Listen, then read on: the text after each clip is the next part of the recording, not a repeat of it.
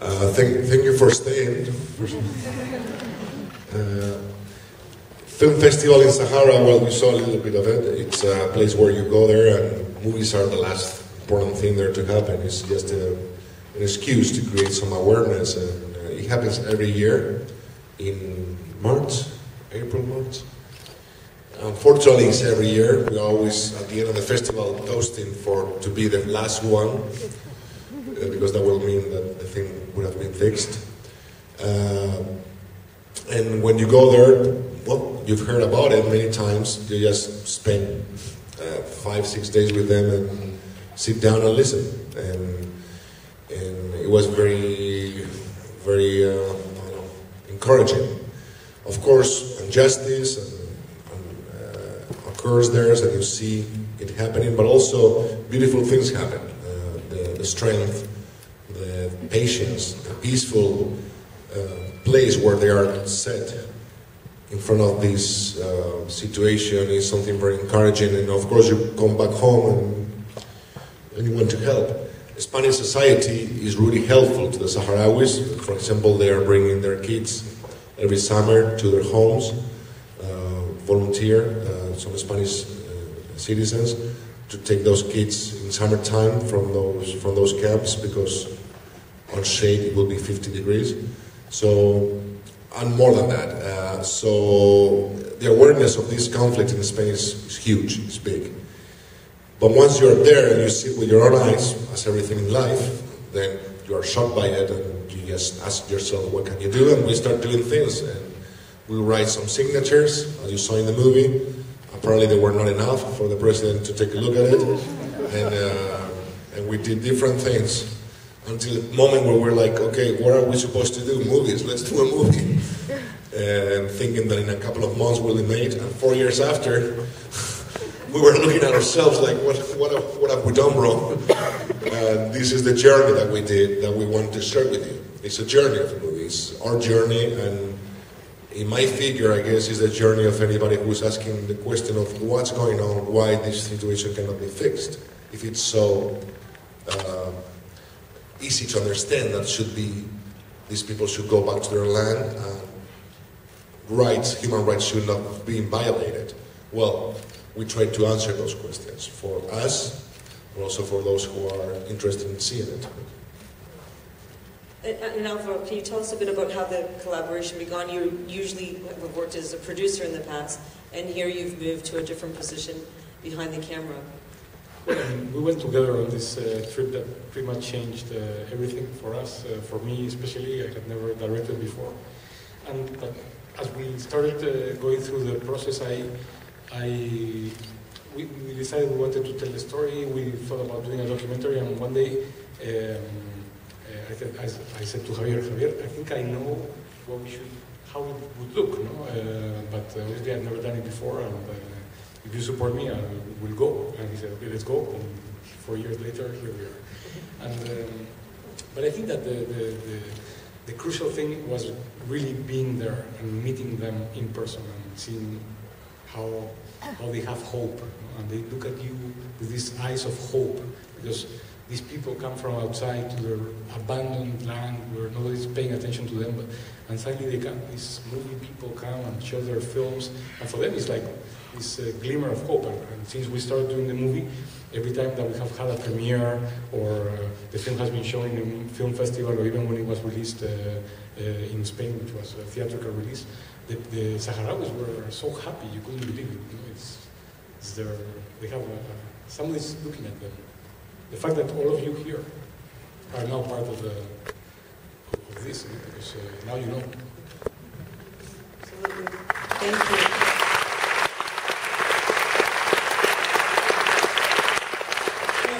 say it was very moving um, to see, you know, here you come to Toronto, you're staying in hotels, and there you were actually staying with the families and, and living with them and eating with them, and that was, that was quite beautiful. And I want to ask you, Lily, too, how you got in, involved in the project. Um, I got involved later on. They had been shooting since 2008, and I came on board about a year and a half ago. Um, and they were uh, at a point where they needed more financing, they needed encouragement, they needed um, just a U.S. partner also.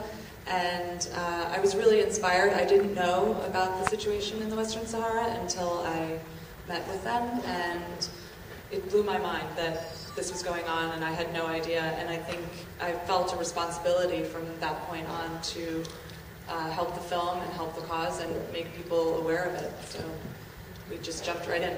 Right, and, and there's a lot of uh, women's groups working there. I guess that must have been Yes, well, and actually, the, the Sahrawi people are very pro-women, um, which in the region is hard to find, and I think that that's something that we should keep in mind when we're supporting the Sahara cause, that we're supporting a people that really believe in our way of life, in a Western sense of equal rights for women, and actually it's a matriarchal society, very much so, so I think it needs to have us behind it and help encourage them because they're alone in that space, really.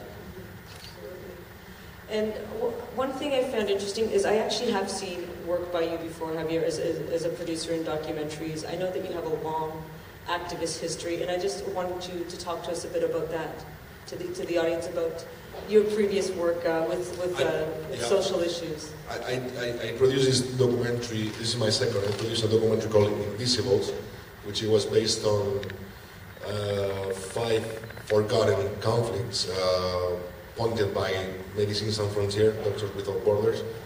Uh, and we work also uh, for a couple of years on that.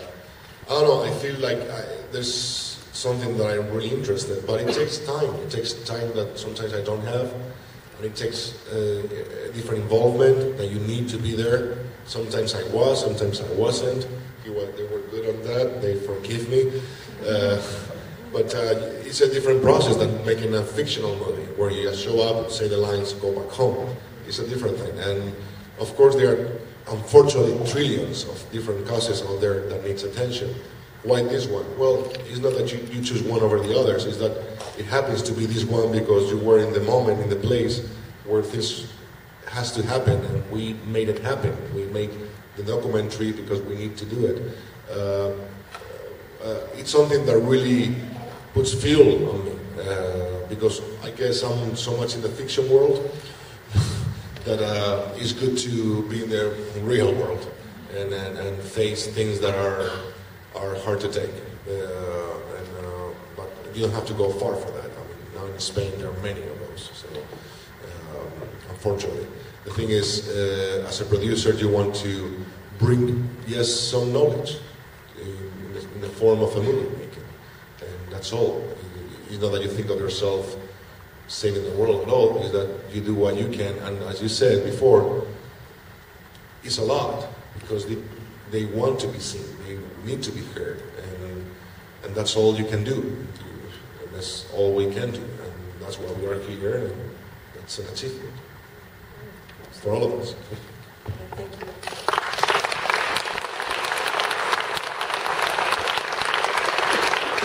Okay, Yes, I do notice there's some hands up, so we are going to move to some questions from the audience. Um, I will be, begin with you. I saw yours first earlier. I just wondered if there was any um, developments in the situation since you left off. Some- So she's asking uh, if there have been any developments, well, what the developments are that have happened since December of last year when the documentary leaves off.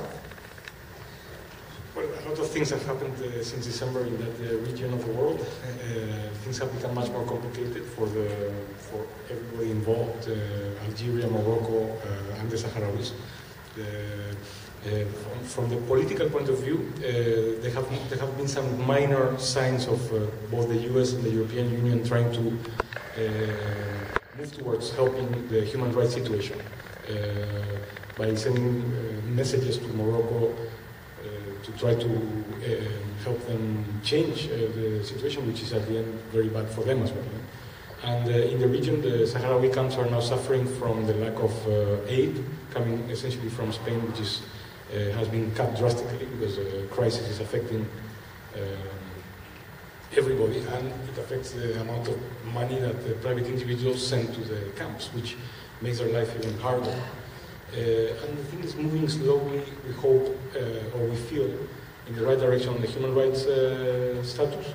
But uh, for example, uh, last week, Kerry Kennedy went and visited the occupied uh, territories with her, uh, with the uh, Robert Kennedy uh, Foundation for Human Rights, uh, which is a human rights uh, organization, and they published a report that just came out that is really devastating. I mean, essentially, the, the, the things that you see here are still happening on a daily basis. Uh, the Sahrawi people in the occupied territories are um, completely left alone. There's nobody supervising them, and uh, things continue pretty much the same way, which is very sad. Even I'll just add to that that Aminetu, who is the woman who's so well spoken, her uh, children were beaten and in the last, I think it was about three months ago, sort of uh, assaulted in the region too. So it's very, it's very sad. Right. Yes. Right. These things that happen and, and yet at the same time. Yeah, it's, it's very complex. Also, a couple of uh, uh, activists, Spanish activists and one Italian, were kidnapped by Al Qaeda. Al Qaeda did a, like a commando operation into the camps and took these three people and had them uh, kidnapped for six or eight months. They were just uh, free. So it's very complicated because the, the region is out of control, essentially. We have a question, yeah, there in the middle. Thank you very much for this really inspiring film, and I'm wondering if you know a bit about the Canadian position on this issue, and if you've come across any Canadian politicians or activists in your work. So they're asking if you know about the Canadian position uh, on this issue and if you've come across any Canadian politicians in your work. I personally don't. No. No. We should find out, right? I mean, we should, we should, you should all help us find out. Absolutely. Yeah, over there, and I'll come back, I'll come back. Go ahead, can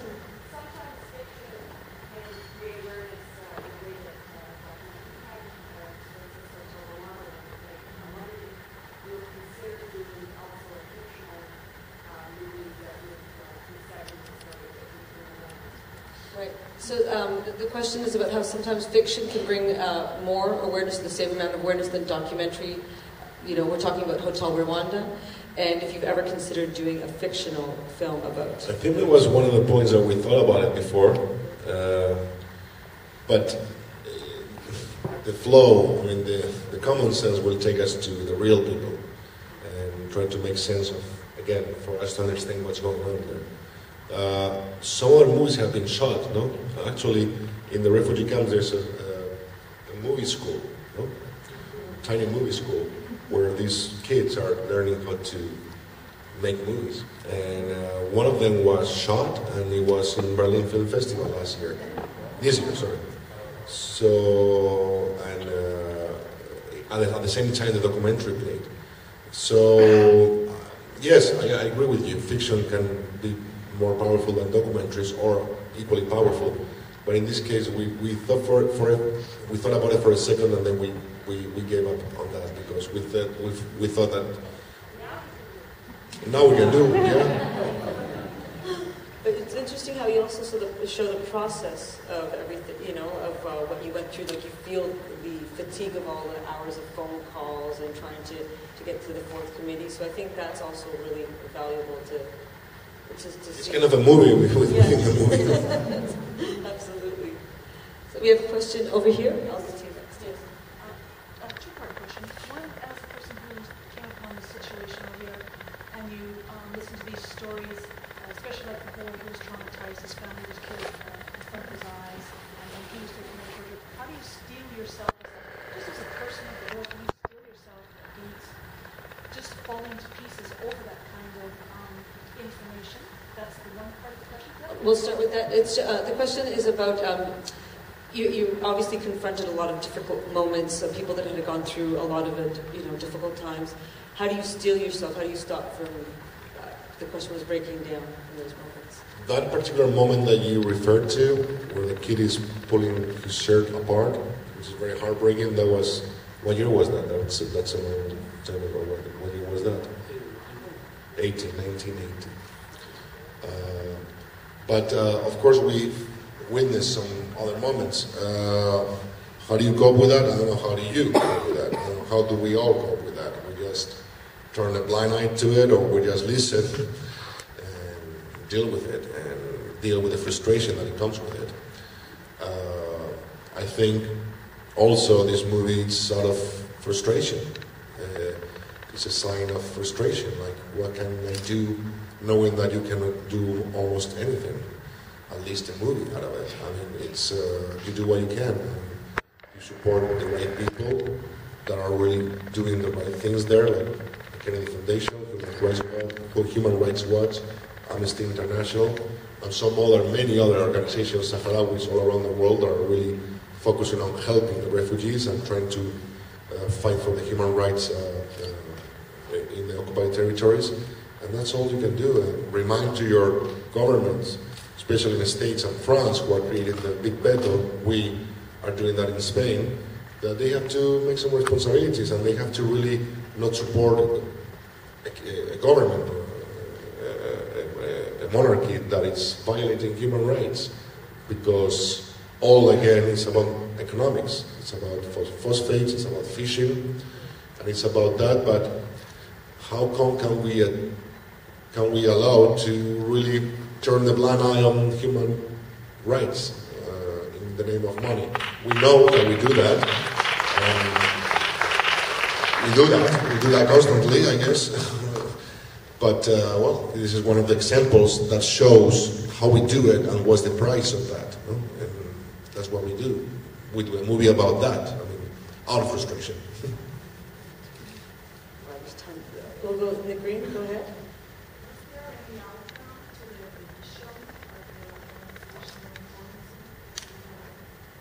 Right, if there was an outcome to the petition at the, um, the, the fourth committee at, at the UN? I think those that moment was pretty strong. First of all, because when you get in a room, everybody's walking and no, everybody's listening to each other. Listening to each other, which is very discouraging. Like everybody's doing their own thing. People are talking and they're looking at the blackberries or doing like. Then when we talk, because I guess I am an, actor, they all pay attention, which is weird and it's sad. I mean, It what was do the only silent moment. I mean, it really, they, they are on their phones, and it was literally the only silent moment was when Javier spoke. Yeah, so it's not very encouraging to see that in the United Nations. And, and then you talk and you feel like, okay, thank you, next. You go, okay. It's not that you are expecting that you are changing the world, but some kind of, I.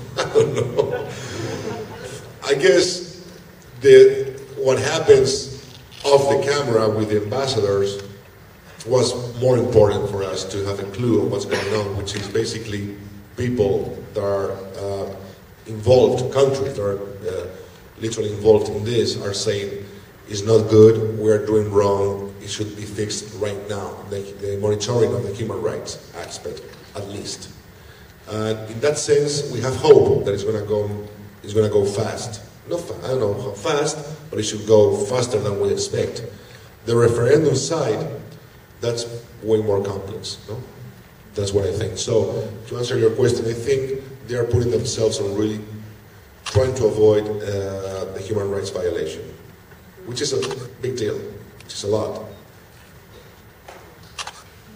Um, a question, yeah, well, go ahead, and the gentleman in the blue shirt, yeah? With stories like this, do you feel that they need a Western celebrity figure in order to be brought into the Western public eye? Yeah, I guess I yeah, yeah.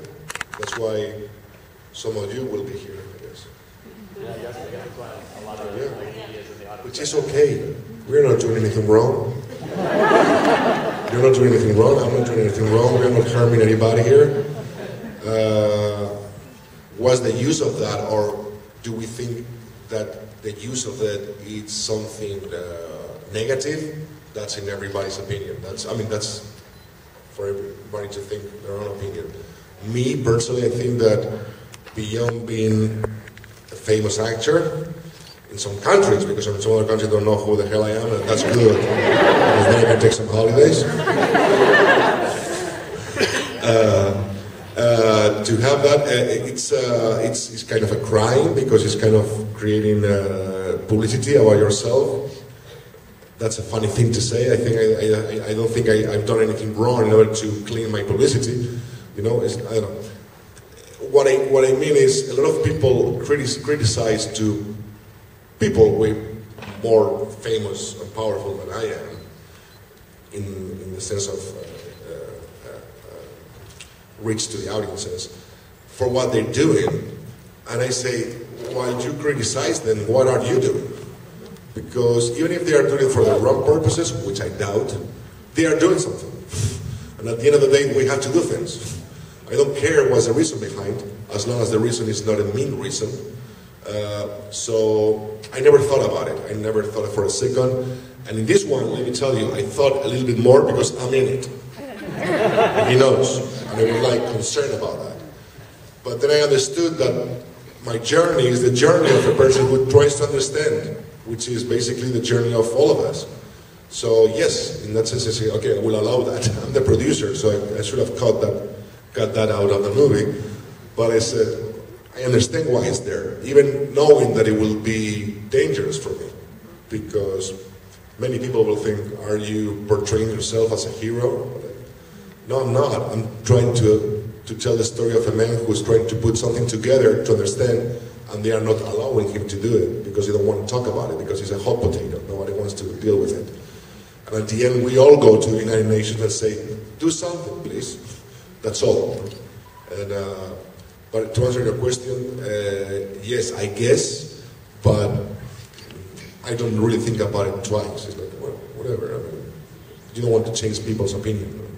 Uh, if people think that's bad, then that will be bad. If people think that that's good, then it will be good. I have my own opinion, which is do what you believe, no matter what people believe or what you do.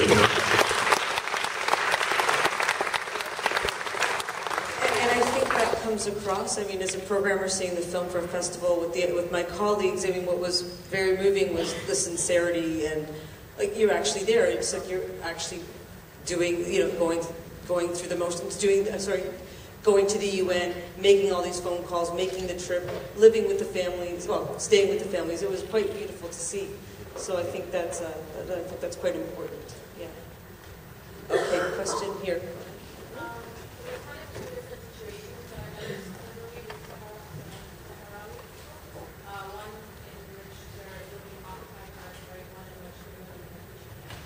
Is there a feeling between them in you know, which situation, obviously neither is ideal, but which situation is better if one's in refugee camps, for instance, usually um, occupied Right. territories are ones in the occupied territories are refugee So she's asking about the relationship because they showed the two uh, people in, this, in the Sahara, some living in the refugee camps, other living in the occupied territories, and just what the relationship is like. Is one preferable to the other? I mean, uh, both are quite tough. I mean, uh, one, the refugees live in a um, state, pretty much a, fake state of base, base of fi- five uh, big refugee camps in the middle of the desert. They have no hope, they have no job. They live off uh, humanitarian aid, and they're just sitting there for generations. That's quite frustrating, but at least they're not being uh, physically hurt. They just have no hope. Uh, they study. Some of them go away to study, and they come back to sit down and watch the sun. And on the other side, you have the, the Sahrawi people in the occupied territories who have uh, a government that is essentially trying to eliminate the, their culture and eliminate their existence, bringing colonies, col- colonies, and, and even those who have tried to help uh, Moroccan authorities and have become uh, involved in, in, in trying to help uh, Morocco uh, take over and have taken jobs in administration, end up suffering anyway, because really what is happening there is, is an anti-Sahrawi um, repression. So uh, those are really even more frustrated because they try to, okay, you, they see, okay, the situation is like this, no? Okay, I, I try to work for the government, I try to work with the government, but they see that they're, that they're not uh, fairly treated. They have no, the fact that they are Sahrawis, only the fact that they are Sahrawis will make them uh, second-class citizens in their own land, which is terrible. And also they are open for physical abuse at any time, but just for you know making a statement or. So I think both of them are quite uh, des- desperate and quite uh, sad. I don't know which one I would choose.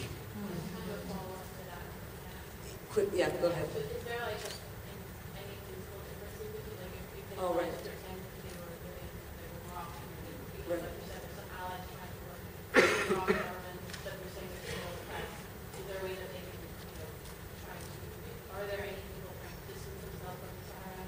I mean, for example, there is the Spanish, the Moroccan ambassador to Spain is a Polisario uh, politician who changed the sides uh, 10 years ago or 7 years ago. He went over, crossed the thing, and became uh, part of the Moroccan government. Now he's the ambassador to Spain. It's quite an important job. no?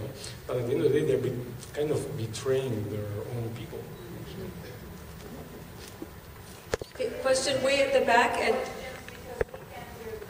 Sure, absolutely, yeah. Way at the, at the back, please, go ahead. Um, Yes.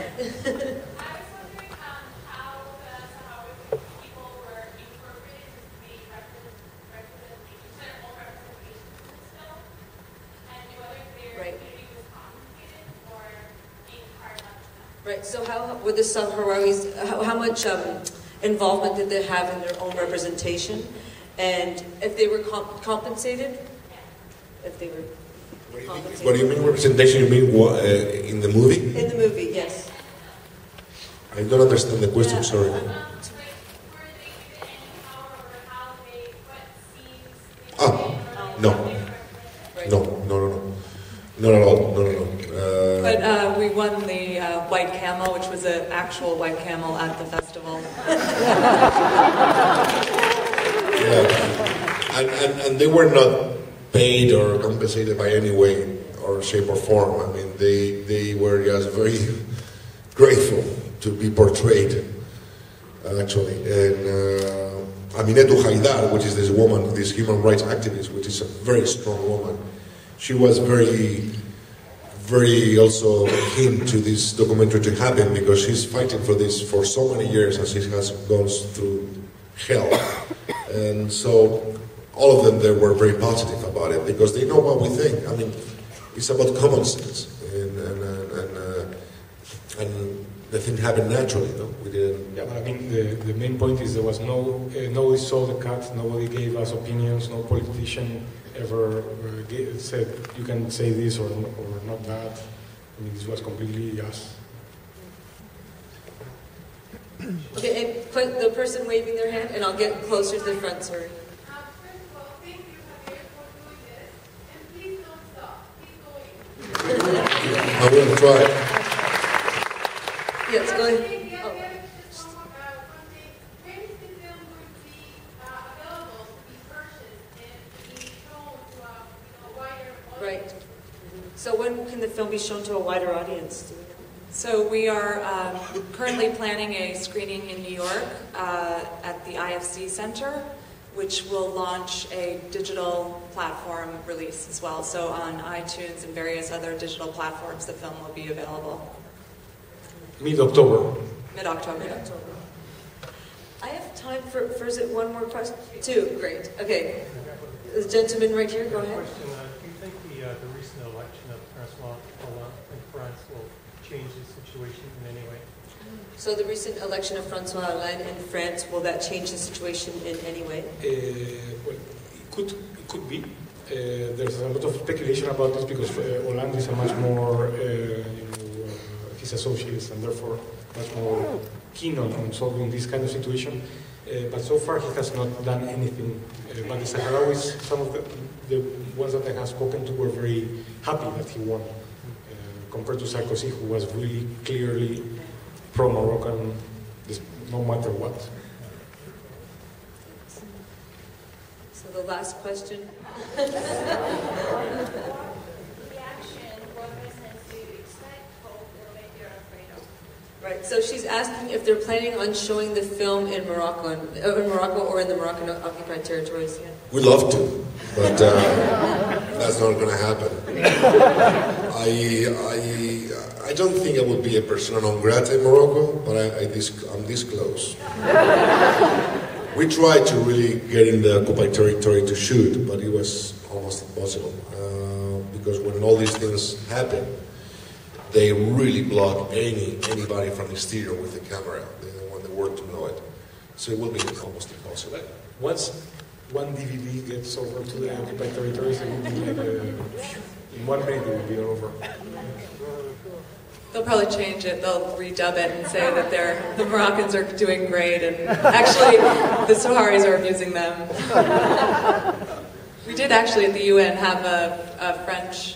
Uh, there was a translation in French that misrepresented uh, Javier's speech at the Fourth Committee, and in, in the translation. So That's true. it's not it's not a joke what, what people are willing to do. Nations. Are you And blaming we, that- we get it on time. Are you blaming that on the French? No, I'm not blaming. I'm just pointing it out. It was, no, it's actually the French. the translation? The translation in the UN of Javier's speech was is put out in three languages, and the French language was completely different. Uh, it was completely different. So you are saying, different. so you are saying the French was No, no, no. They're just a translation. Um, we do have to unfortunately leave, but thank you, all of you, for being with us, and thank you to you.